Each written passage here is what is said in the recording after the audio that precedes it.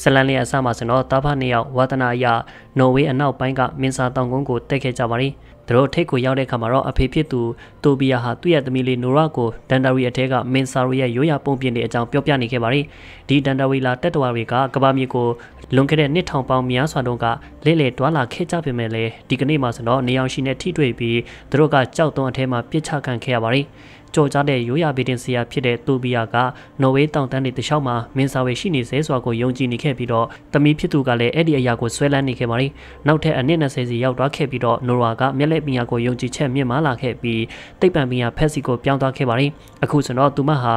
တတဗိဒပညာရှင်တယောက်အဖြစ်အလုပ်လုပ်နေခဲ့ပါရင်ရှေဟောင်းသူတေသနနေရာတစ်ခုမှာ6လနီးပါးအလုပ်လုပ်ပြီးရနောက်ထူးဆန်းတဲ့ရုပ်ကျွင်းတစ်ခုကိုရှာဖွေတွေ့ရှိခဲ့ပါရင်သူမရဲ့ကြိုးစားအားထုတ်မှုကြောင့်နောက်ဆုံးမှဆိုတော့နိုရာကလည်းသူမရဲ့အဖွဲ့နဲ့အတူသူမရဲ့လက်တလောရှာဖွေတွေ့ရှိမှုကိုဂုဏ်ပြုတဲ့အတွက်ဝမ်းတာနေကြပါရင်အဲ့ဒီအချိန်အနီးအနားကဒိုဘာတောင်မှာဆိုတော့မြောက်ဘူတာယုံတစ်ခုတိဆောက်ဖို့အတွက်အချိန်အဟုန်နဲ့ဖောက်လို့လျက်ရှိပါရင်အလုတ်ဓမ္မတွေကတောင်ပေါ်ကိုတူးဖော်ဖို့အတွက်အလုတ်များနေခဲ့ပြီးစီမံကိန်းအတွက်လမ်းကြောင်းတစ်ခုဆွဲဖို့ ဖောက်ခွဲရေးပစ္စည်းတွေကိုတတ်ဆင်နေကြပါရင်တချိန်တည်းမှာပဲအစိုးရကဒီတောင်ကိုဒီအတိုင်းထားတင်တယ်လို့ကြွေးကြော်ပြီးတော့စောက်လို့ရဲ့လုပ်ငန်းတွေကိုတက်ကြွလှုပ်ရှားသူတွေကတော့စန့်ကျင်စန္ဒပြခဲ့ကြပါရင်သူတို့ရဲ့စန္ဒပြမှုတွေကိုလိလူရှုပြီးတော့ခေါင်းဆောင်ကတောင်ကြီးကိုအစစ်စိတ်အမမဖြစ်အောင်ဖောက်ခွဲရေးပစ္စည်းတွေနဲ့ပြစ်လိုက်ပါရင်အဲ့ဒီနောက်မှာတော့သူနဲ့အလုတ်ဓမ္မတွေကစစ်ဆေးဖို့အတွက်ဒိုဘာကူအထဲကိုဝင်သွားခဲ့ကြပြီးမြဲအန်အောစရာကျေလောင်တဲ့ဟောက်တန်ကြီးကိုကြားလိုက်ရပါရင်အဲ့ဒီနောက်မြေပြင်ကလှုပ်လာတာကိုခန်းစားလိုက်ရပြီးတော့ခဏအကြာမှာရှေအောင်တန်ဒရီအထက်ကတက်သွားတဲ့ကောင်တောင်ရဲ့ကြောက်ဆောင်နေတဲ့နေရာကနေတက်လာခဲ့ပါရင် ထိတ်လန့်တော်လို့တွားခဲ့ပြီးတော့အလုတ်ဓမ္မတွေကလည်းထွက်ပြေးကြပေမဲ့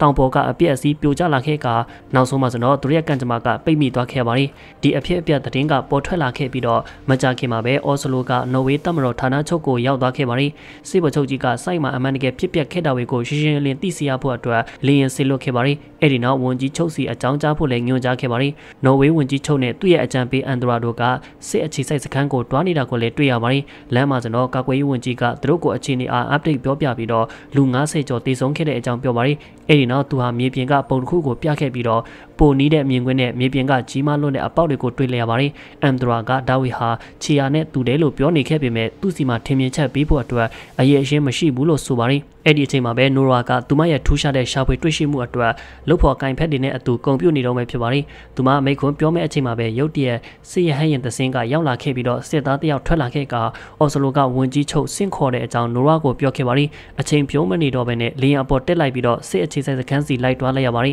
သူမရောက်သွားတာနဲ့ပဲအန်ဒရာကအစိုးရအရာရှိတွေနဲ့ပြည်နေခဲ့တဲ့အခန်းတစ်ခုစီခေါ်တော့ပါရီနိုရာဟာလက်ရှိအရှိအနေနဲ့ပတ်သက်လို့ဝင်ရောက်ဆွေးနွေးပါရီမိလောင်မှုကဓာတ်ငွေတစ်မျိုးကြောင့်ဖြစ်တယ်လို့တာဝန်ရှိတဲ့သူတွေကယူဆခဲ့ပေမဲ့နိုရာကတော့တခြားနည်းနဲ့ပြောခဲ့ပါရီရှီယာကိုအနီးကသုံးသက်ပြီးရနောက်ဒါကတောင်တွေကနေထွက်ပေါ်လာခဲ့တဲ့တမိုင်းဝင်တရိษံဖြစ်နိုင်ပါတယ်လို့သူကတန်တရားရှိပါရီအန်ဒရာကတဘဝလုံးဖြစ်ရလို့ထင်နေခဲ့ပေမဲ့သူကထင်မြင်ချက်ပြီးဖို့အတွက်အရေးအရှင်းမရှိပြန်ပါဘူးဒါပေမဲ့လည်းအစိုးရတာဝန်ရှိတဲ့လူတွေကသူမရဲ့ရုပ်ကျွင်းသူတည်တနာကိစ္စရဲ့အထက်ကတခုမဟုတ်ဘူးလို့ပြောပြီးတော့နိုဝါကိုလောင်ပြောင်ခဲ့ကြပါရီဒါဝေအကုန်လုံးရဲ့နောက်ွယ်မှာဒရိစံတကောင်ဖြစ်နိုင်တယ်ဆိုရဲဖြစ်နိုင်ရှိကိုလည်းပယ်ချခဲ့ကြပါရီ အဲ့ဒီအချိန်နော်ဝေးစစ်တပ်အတွက်အလုပ်လုပ်နေခဲ့တဲ့ကွန်ပျူတာပညာရှင် Secret ကဝင်လာခဲ့ပြီးတော့အဖြစ်အပျက်ကဗီဒီယိုတစ်ခုကိုရယူနိုင်ခဲ့တဲ့အကြောင်းအဖွဲ့ကိုပြောပြပါရီသူမှဖွင့်ပြလိုက်တဲ့အခါမှာတော့ဒိုဘာကူထဲကနေပေ150လောက်မြင့်တဲ့အကောင့်ကိုတာဝန်ရှိတဲ့လူတွေကသတိထားမိသွားခဲ့ပါရီနောက်ဆုံးမှာတော့နော်ဝေးမှာအီယာမအကောင့်ကြီးတစ်ကောင်ကရောက်နေတယ်ဆိုတာကိုသူတို့ကယုံကြည်သွားခဲ့ပါရီလက်စီယာလို့ခေါ်တဲ့ဝေးလံတဲ့တနေရာမှာဆိုတော့တက်ကြီးရွယ်ကိုစုံတွဲတွဲက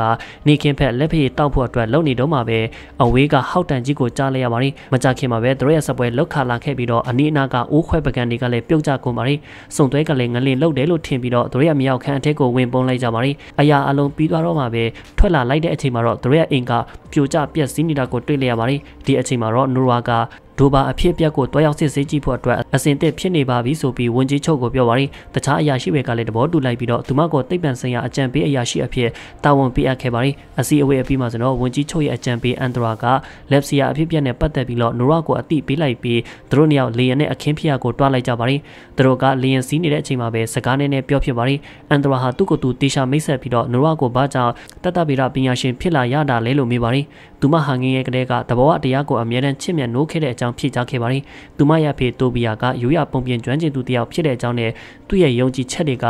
ဝေးကွာလွန်းသွားခဲ့ပြီးနောက်ဆုံးမှဆိုတော့လက်ရှိအဖြစ်မှန်နေနဲ့အဆက်အသွယ်ပြတ်တောက်သွားခဲ့ပါရီတခါမှဆိုတော့သူ့ရဲ့အခြေအနေကအရန်ကိုစိုးလာတဲ့အတွက်ဈေးရုံတင်လိုက်ရတဲ့အကြောင်းပြောပြပါရီအန်ဒရာကသူဟာအမြဲတမ်းစာရေးဆရာဖြစ်ချင်ခဲ့တဲ့အကြောင်းနဲ့သူ့ရဲ့ခေါင်းကိုဖြုတ်ပြီးတော့ရန်သွေးကိုကိုက်ပစ်တဲ့ဖုန်ကြီးတစ်ပါးအကြောင်းဆက်လန်းရေးနေတာလို့နူရာကိုရင်ဖွင့်ပါတယ်အမှန်အတိုင်းပြောရမယ်ဆိုတော့ဒါကတကယ်တော့ရေးစရာကောင်းပါတယ်နူရာနဲ့အန်ဒရာတို့ကစိုက်ကိုရောက်သွားတဲ့အခါမှာတော့အပြက်အစည်းတွေကြောင့်အံ့ဩသွားခဲ့ပါတယ်မကြခင်မှာပဲသူတို့ကိုအထူးစစ်စင်ရေးကုတ်ကဲရဲမှုဌာနချုပ်ကကပတိန်ခရစ်ကလာရောက်ကြိုဆိုခဲ့ပါတယ်ခရစ်ဟာသူတို့နှစ်ယောက်ရဲ့အခြေအနေကိုအချင်းချင်းပြောပြပြီးတော့တက်တော်ဟာတောင်ရဲ့တောင်ဖက်နမိုင်အကွာကိုဆက်တက်သွားတဲ့အကြောင်းနဲ့သူတို့အေရီးယားတဝိုက်ကိုဖျက်ရှာခဲ့ပေမဲ့လည်းဘာကူမှရှာမတွေ့တဲ့အကြောင်းပြောပြပါတယ်။အေယာမတက်တော်ကြီးကလေအထဲမှာပဲပျောက်သွားတယ်လို့ဖြစ်ပါတယ်။အဲ့ဒီနောက်သုံးယောက်သားကအဖြစ်အပျက်ကြောင့်တုံးလုံးနေစေဖြစ်တဲ့တက်ကြီးရဲ့အိုစနီးမောင်နှံကိုစုံစမ်းမေးမြန်းခဲ့ပါတယ်။စနီးတဲ့ကဘာကူမှမမြင်ခဲ့ပေမဲ့လည်းထူးဆန်းတဲ့အတန်ကိုကြားလိုက်ရပြီးတော့အတန်ကကင်းကောင်လိုပဲကြောက်စရာကောင်းတယ်လို့ပြောပါတယ်။ ဒါပေမဲ့သူတို့ရရှိတဲ့အချက်လက်တွေကအကျုံးမွေးတာကြောင့်နိုဝါကတော့သူမဘာသာပတ်ဝန်းကျင်ကိုစစ်ဆေးဖို့ထွက်လာပါတယ်။ရုတ်တရက်ထူးဆန်းတဲ့အနံ့တစ်ခုကိုရရှိခဲ့ပြီး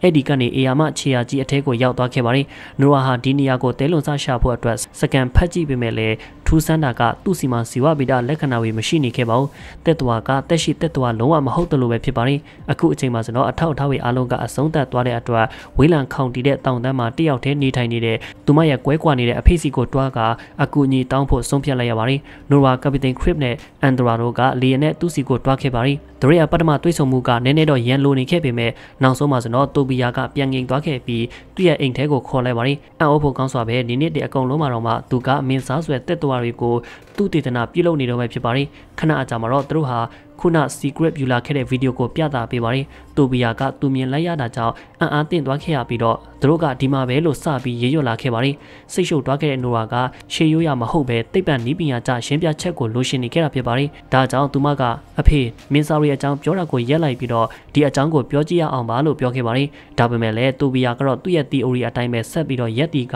နော်ဝေကခရစ်ယာန်ဘာသာပြုမှုကြောင့်မင်းစာဝေမျိုးတုံးသွားတယ်လို့ရှင်းပြပါတယ်။သူကယူသွနေတဲ့သူလို့နေရှာခံရသည့်တိုင်အောင်အမှန်တရားကိုဖော်ထုတ်မယ်ဆိုပြီးထပ်ပြောပါတယ်။အဲ့ဒီနောက်သူ့ရဲ့အိတ်ကိုကောက်ကင်လိုက်ကစွန့်စားခန့်အတွက်ထွက်သွားပါတယ်။အဲ့ဒီနောက်မှာတော့နိုရာကသူ့ရဲ့လှုပ်ဖော်ကိုင်ဖက်တွေနဲ့တိုဘီယာနဲ့အတူလေရင်နဲ့စိုက်ကိုတွားနေတာတွေ့ရပါတယ်။ခဏနေတဲ့အခါမှာတော့သူတို့ရောက်သွားခဲ့ပြီးတိုဘီယာကပတ်ဝန်းကျင်ကိုဆရာထက်တန်စွာနဲ့ကြည့်ခဲ့ပါတယ်။မြေမျက်နှာတွင်ပြင်ကလုံးဝပြောင်းလဲသွားတော့ကိုလည်းသတိထားမိပါတယ်။အဲ့ဒီအချိန်မှာနိုရာကဟိုက်ပါနေရှာလို့ခေါ်တဲ့ထူးဆန်းတဲ့အနံ့တစ်ခုကိုရရှိလိုက်ပါတယ်အဲ့ဒါနဲ့ပဲသူမကနေရာတစ်ဝိုက်ကိုလဲပတ်ကြည့်ရှုခဲ့ပြီးရုတ်တရက်သူမရဲ့အနောက်မှာကြီးမားတဲ့အကောင်ကြီးကနိုးထလာတာကိုတွေ့လျက်ရပါတယ်သူကပတ်ဝန်းကျင်နဲ့ရောနှောနေတဲ့အတွက် သူ့ကိုယ်သူဖုံးကွယ်ထားတဲ့မင်းစားအကောင်ကြီးကြီးဖြစ်နေခဲ့ပါတယ်။အန်ဒရာနဲ့တခြားလူတွေကလည်းဒါကိုတတိထားမိကြပြီးတော့လီယန်နဲ့အမြန်ဆုံးကိုထွက်ပြေးကြရပါတယ်။ကန်ကောင်းပြီးတော့အဖွဲကအချိန်ကိုက်လေးမှာပဲလွတ်မြောက်သွားခဲ့ပါတယ်။မင်းစားကတော့အမီးပါပါပါတယ်။သူတို့ကလုံခြုံတဲ့နေရာကိုရောက်သွားခဲ့ပြီးတော့အင်တာနက်အပေါ်မှာဓာတ်ရိုက်ထုတ်လွှင့်ခဲ့ပြီးအော်စလိုကအစိုးရအရာရှိတွေကိုဗီဒီယိုအားပြသပေးခဲ့ပါတယ်။အခုအချိန်မှာဆိုတော့မင်းစာဟာတကယ်ဖြစ်လာတဲ့ဆိုတာကိုလူတိုင်းကအယုံကြည်လာကြပြီဖြစ်ပါတယ်။ကပတိန်ခရစ်ဦးဆောင်တဲ့စစ်စင်ရေးကိုဝင်ကြီးချုပ်ကစီစဉ်လိုက်ပြီးတော့မကြခင်မှာပဲရာနဲ့ရှိသောစစ်သားတွေက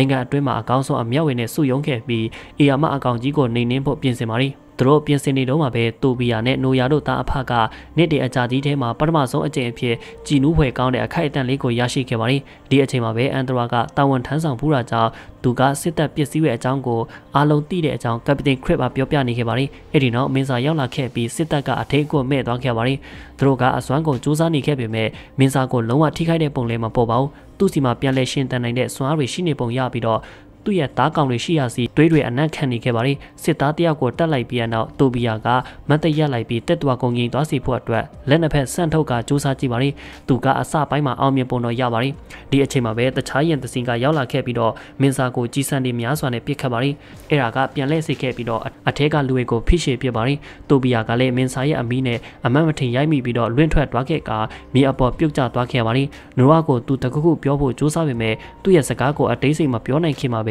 ဝမ်းနေစရာကောင်းစွာနဲ့တည်ဆုံးသွားခဲ့ရပါတယ်။အဲ့ဒီညမှာဆိုတော့စိတ်သက်ကြနေခဲ့တဲ့နိုရာက သူ့အဖေရဲ့ဂျာနေကိုဖတ်ပြီးတော့မင်းစာဝေကိုဘယ်လိုမျိုးရက်တန်းရမှာလဲဆိုတာသိဖို့ဒါမှမဟုတ်အနည်းဆုံးတော့သူ့ကိုပူနာလေစီအောင်စူးစမ်းရှာဖွေပါရီနိုင်ပေါင်းများစွာဖတ်ပြီးနောက်မင်းစာဝေကခေါင်းလောက်တန်ကိုမုံတီးတာကြောင့်ဖះเจ้าတွေမှာကြောက်တုံးရင်ပြစ်ချလေးရှိတဲ့အကြောင်းသိရပါရီနောက်ပိုင်းမှာဆိုတော့သူမကဒါကိုထည့်စဉ်းစားရမယ်လို့တာဝန်ရှိတဲ့သူတွေအားပြောပြပါရီကာကွယ်ရေးဝန်ကြီးကဒီလိုမျိုးအယူတည်တဲ့အစီအစဉ်ကိုရှေ့ဆက်မတိုးရှင်ပေမဲ့လည်းသူတို့စီမှာပိုကောင်းတဲ့ရွေးချယ်မှုမရှိတဲ့အတွက်ဗိုလ်ချုပ်နဲ့ဝန်ကြီးချုပ်ကလည်းနိုရာကိုမီးစိမ်းပြပြီးတော့ခွင့်ပြုပေးခဲ့ပါရီနောက်တစ်ခါမှာဆိုတော့စစ်ရဟတ်ရင်လေးစ င်းကိုတွေ့လျက်ရပါတယ်တခုစီမှာဖျားเจ้าကခေါင်းလောင်းကြီးတွေကိုတွဲရှိထားပြီးတော့တက်တဝါကြီးစီကိုဥတီကြပါတယ်အစီအစဉ်ကအစပိုင်းမှာအလုပ်ဖြစ်ပုံရနေခဲ့ပြီးတော့မင်းစာကလည်းတိတိတာအားနေခဲ့ပါတယ်ဒါပေမဲ့ခဏအကြာမှာတော့သူနေတာကြလာခဲ့ပြီးရရရင်တွေကိုဖျက်ဆီးပစ်ပါတယ်ဖျားเจ้าခေါင်းလောင်းဝင်နဲ့မင်းစာကောင်ကိုတိုက်ခိုက်ဖို့အတွက်နိုရာရဲ့စိတ်ကူးကမအောင်မြင်ခဲ့ပဲအစုလိုက်အပြုံလိုက်တက်ဖြတ်ခြင်းနဲ့ပျက်စီးခြင်းတွေကိုပိုဖြစ်စေခဲ့ပါတယ်ဒါပေမဲ့မင်းစာဟာကလေးတယောက်ကိုတေခါနီးအချိန်ကနေတော့ကဲတင်ပေးခဲ့ပါတယ်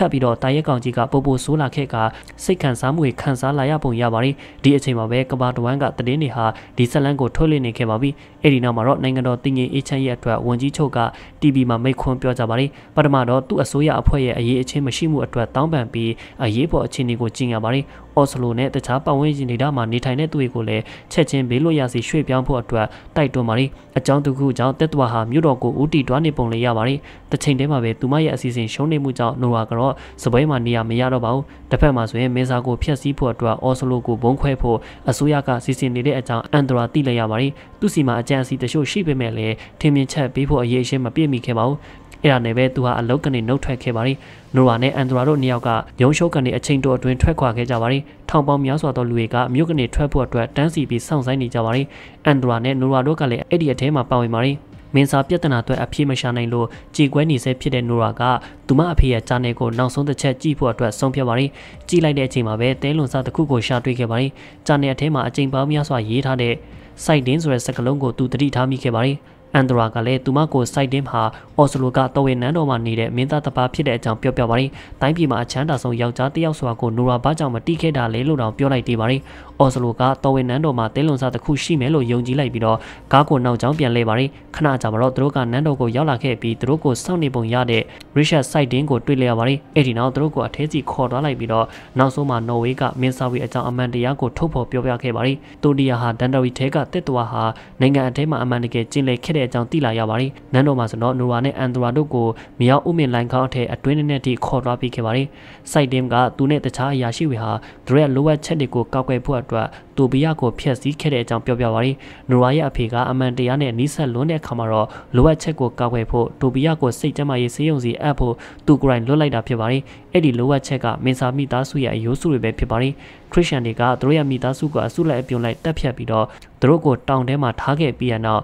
တော်ဝင်နန်းတော်ရဲ့မြောက်ကမင်းစာဘရင်ရဲ့ကူထိတ်မှာတိဆောက်ထားတာဖြစ်ပါတယ်။တိုင်းပြည်ကိုနောက်ဆက်နေတဲ့မင်းစာကတကယ်ဆိုရင်တော့မင်းစာဘရင်စွာကိုတိလိုက်ရပါတယ် ဒါကြောင့်ပဲပထမကတည်းကမင်းစာကောင်ကြီးဟာအော်စလိုကိုဦးတည်သွားနေတာဖြစ်ပါတယ်။သူကသူ့ရဲ့အိမ်ကိုပြန်ဖို့အတွက်စူးစမ်းနေတာဖြစ်ပါတယ်။မင်းစာရဲ့အတွက်မိသားစုထပ်ပို့ပြီးရေးကြည့်တာကဘာမှမရှိဘူးဆိုပြီးတော့စိုက်တင်ရှင်းပြပါတယ်။နော်ဝေရဲ့ခရစ်စမတ်ကာလမှာမင်းစာဘရင်ကိုနိုဘာတောင်အားများခေါ်ပြီးတော့ပိတ်ထားခဲ့တာဖြစ်ပါတယ်။အစောပိုင်းကဖောက်ခွဲပစ္စည်းတွေကြောင့်သူပြန်လွတ်လာခဲ့တာဖြစ်ပြီးအခုဆိုတော့သူ့ရဲ့ကလေးတွေနဲ့ပြန်လည်ပေါင်းစည်းဖို့အတွက်အော်စလိုကိုပြန်သွားနေတာဖြစ်ပါတယ်။ တကယ်ကိုစိတ်မကောင်းစရာပဲဖြစ်ပါတယ်။နိုအာနဲ့အန်ဒရာတို့ကအမှန်တရားကိုသိလိုက်ရတဲ့အခါမှာတော့အံ့ဩသွားခဲ့ပါတယ်။မင်းစာမိသားစုရဲ့အယိုးအကျွင်းကြံတွေကိုမြင်လိုက်ရတဲ့အခါမှာပိုလို့တောင်လန့်သွားခဲ့ပါတယ်။နိုရာကအယိုးရဲ့အပေါ်မှာသူမရဲ့မိကိုထွန်းကြည့်လိုက်ပြီးတော့ရောင်ရမ်းနေတာကိုတတိထားလိုက်မိပါတယ်။မင်းစာဝေကအလင်းကိုအထိမခံနိုင်ဘူးဆိုတာသိလိုက်ရပြီးတော့အစီအစဉ်တစ်ခုပေါ်လာခဲ့ပါတယ်။အဲ့ဒီနောက်မှာဆိုတော့နိုဝါကစိုက်တင်းကိုသူ့စီမှာရှိတဲ့အကြီးဆုံးကားကိုငားခဲ့ပါတယ်။အဲ့ဒါနဲ့ပဲသူမကိုဘယင်မကြီးရဲ့အကြိုက်ဆုံး pickup truck ကပေးလိုက်ပါတယ် အဲ့ဒီနောက်မှာဆိုတော့သူက Captain Crib ကိုဖုန်းဆက်ပြီးတော့အစီအစဉ်အကြောင်းကိုအချင်းချင်းပြောပြပါတယ်သူမကမင်းစားဘရင်ကိုနေလောင်ခန့်ပြွန်ပါတဲ့လက်နက်နဲ့ဝိုင်းထားပြီးတော့ UV အလင်းတက်နေတဲ့ထိအောင်လှုပ်ရှင်ခဲ့တာဖြစ်ပါတယ် Crib ကထောင်လျှောက်လုပ်ဖို့အတွက်ဒီရုပ်ရှင်တစ်ခုလုံးမှာပါတဲ့လူမဲစစ်သားအပါအဝင်ရဲဘော်ရဲဘက်တချို့ကိုပြောလိုက်ပါတယ်အဲ့ဒီလိုတောင်းဆိုနေတဲ့အချိန်မှာအန်ဒရာကသူ့ရဲ့တငယ်ချင်း Secret ကိုအစိုးရဌာနအားပြန်ခိုင်းပြီးတော့ Oslo ကိုဘုံကျဲမဲ့အစီအစဉ်အားအချိန်ဆွဲထားဖို့ပြောပါတယ်ကံကောင်းတာကတော့ Secret က hacker ပညာရှင်တယောက်ဖြစ်ပြီးတော့တိုက်လေယာဉ်တွေကိုဒုံးကျည်မပြစ်နိုင်စေဖို့တားဆီးနိုင်ခဲ့ပါတယ်။အော်စလိုမှာမတိမငင်ဖြစ်ပြီးတော့အစီအစဉ်ကအသက်ဝင်နေခဲ့တာကြောင့်အန်ဒရာနဲ့နိုရာကစပြီးအကောင့်ထဲဖော်လိုက်ပါတယ်။အစပိုင်းမှာတော့ truck ကအနောက်ဘက်ကထောင်ချောက်ကိုဖယ်ထုတ်ပြီးမြောက်မှာတွေ့တဲ့မင်းစာကလေးရဲ့ဥကုံကိုထုတ်ပြလိုက်ပါတယ်။အဲ့ဒီနောက်သူတို့ကဝင်လာတဲ့မင်းစာကောင်ကိုယူဝင်အလင်းထောင်ချောက်စီဆွဲခေါ်ပြီးတော့အဝေးကိုမောင်းသွားကြပါတယ်။ခဏအကြာမှာတော့မင်းစာကအမတ်မထင်ဥကောင်းခွန်ကိုရိုက်ခွဲလိုက်မိပြီးသူ့စီမှာမိသားစုမရှိတော့ဘူးဆိုတာကိုသိလိုက်ရပါတယ်။ဒရတကြီးနဲ့နိုရာနဲ့အန်ဒရာစီကိုအာယုံရောက်သွားခဲ့ပြီးတော့သူတို့ကိုပြန်ပေးဆက်ခိုင်းဖို့ဆုံးဖြတ်ပါတယ်။တစ်ဖက်မှာဆိုတော့စစ်အခြေစိုက်စခန်းမှာ Secret က ဒုံးကျည်စနစ်ကိုဟတ်တာအားနောက်ဆုံးမှာတော့လက်ပူးလက်ချက်ဖမ်းမိသွားခဲ့ပါတယ်ဒါပေမဲ့လည်းအနီးအနားမှာအရက်သားဝေရှိနေတာကိုအတိပြုပြီးရနောက်ဒုံးကျည်အစီအစဉ်ကိုဖျက်သိမ်းဖို့ဗိုလ်ချုပ်ကတော့အမိန့်ပေးပါတယ်ဒီအချိန်မှာပဲနူရာနဲ့အန်ဒရီတို့ကမင်းစာကောင်ကိုတတ်မှတ်နေရာစီရောက်အောင်ဆွဲဆောင်နိုင်ခဲ့ပါတယ်စစ်ကားတွေကအချိန်မဖြိုးမနဲ့မင်းစာကောင်ကိုဝိုင်းထားလိုက်ပြီးတော့ခရမ်းလွန်ရောင်ရှိဝေအများကြီးကိုထွန်းလိုက်ပါတယ်အစီအစဉ်ကအလုတ်ဖြစ်သွားခဲ့ပြီးတော့မင်းစာကလည်းတပြည့်ပြည့်နဲ့လောင်ကျွမ်းခဲ့ကတီတော့မှဖြစ်ပါတယ်နိုဝါကဒီတက်တဝါကြီးခံစားနေရတာကိုမြင်ပြီးတော့နောက်ဆုံးမိနစ်မှာစိတ်ပြောင်းသွားခဲ့ပါတယ် ဒီတက်တဝါကိုတတ်တာကမမ်းမန်းတိပြီးတော့မိဝေကိုပိတ်လိုက်ပါတယ်တမတော်သားဝီအဆောင်အချက်ကြားကသူ့ရဲ့အသက်ကိုကယ်တင်ဖို့ကြိုးစားခဲ့ပါတယ်။အဲ့ဒီနောက်မင်းစာကိုတောင်ပေါ်မှာဘေးကင်းတဲ့အတွက်အဲ့ဒီကိုတွားဖို့တိုက်တွန်းပေမဲ့ကံမကောင်းစွာနဲ့ပဲနောက်ကျသွားခဲ့ပါတယ်။နေကလည်းထွက်လာခဲ့ပြီးတော့မင်းစာဘရင်ကိုထိကပြိုလဲကျသွားခဲ့ပါတယ်။ သူကလုံးဝကြောက်တုံးမဖြစ်သွားခင်မှာပဲနိုဝါကသူ့စီကိုတွားလိုက်ပြီးတော့အသားအရလမ်းကန်လိုက်ပါတယ်တခြားသူတွေကပျော်ရွှင်နေတဲ့အချိန်မှာအန်ဒရီနဲ့နိုရာတို့ကနော်ဝေးတောင်တန်းတွေမှာနောက်ထပ်မင်းစာဝေပုံနေနိုင်သလားဆိုပြီးတွေးနေခဲ့ပါတယ်အဲ့ဒီနောက်မှာတော့နိုရာကဒီနေရာကိုတိုဘီယာကြောက်တုံးလို့ခေါ်ဖို့ဆုံးဖြတ်လိုက်ပါတယ်ဝင်ကြီးချုပ်ကလည်းပေါ်လာခဲ့ပြီးတော့နိုရာကိုသူဘာပြောမှန်းတော့မတိဘူးလို့ပြောခဲ့ပါတယ်နောက်ဆုံးအခန်းမှာဆိုတော့ဒိုဘာတောင်ပေါ်ကိုပြပြီးကြောက်တုံးကရုတ်တရက်ရွှေ့နေတာနဲ့စက်ကားကိုအဆုံးတက်ထားခဲ့ပါတယ်ကြည့်ရှုပေးကြပရိသတ်များအားလုံးကျေးဇူးအထူးတင်ရှိပါခင်ဗျာ